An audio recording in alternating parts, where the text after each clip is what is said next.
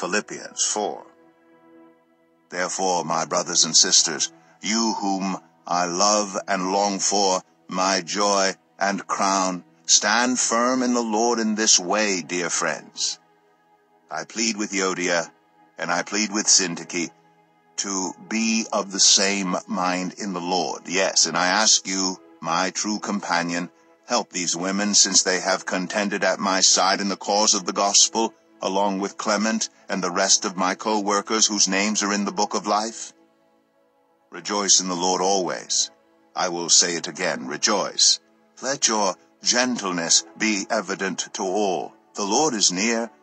Do not be anxious about anything, but in every situation by prayer and petition with thanksgiving, present your requests to God, and the peace of God, which transcends all understanding, will guard your hearts and your minds in Christ Jesus. Finally, brothers and sisters, whatever is true, whatever is noble, whatever is right, whatever is pure, whatever is lovely, whatever is admirable, if anything is excellent or praiseworthy, think about such things. Whatever you have learned, or received, or heard from me, or seen in me, put it into practice, and the God of peace will be with you. I rejoice greatly in the Lord that at last you renewed your concern for me. Indeed, you were concerned, but you had no opportunity to show it. I am not saying this because I am in need, for I have learned to be content, whatever the circumstances. I know what it is to be in need, and I know what it is to have plenty. I have learned the secret of being content in any and every situation, whether well-fed or hungry, whether living in plenty or in want. I can do all this through him who gives me strength.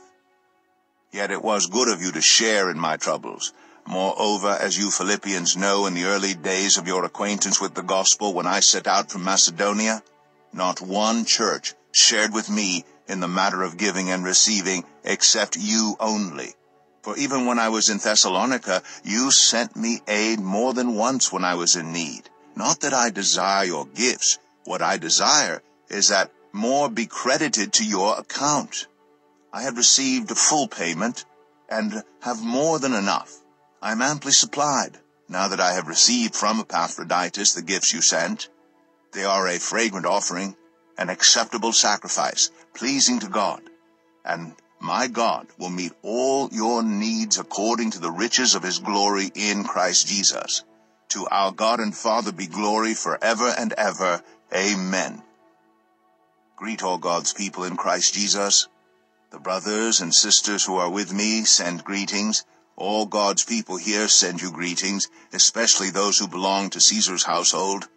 The grace of the Lord Jesus Christ be with your spirit. Amen.